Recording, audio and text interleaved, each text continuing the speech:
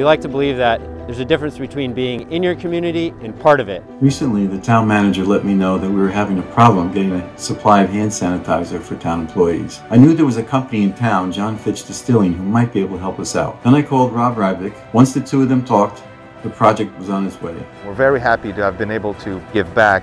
When we go through times like this, it's important to be empathetic and remember that we're all in this together.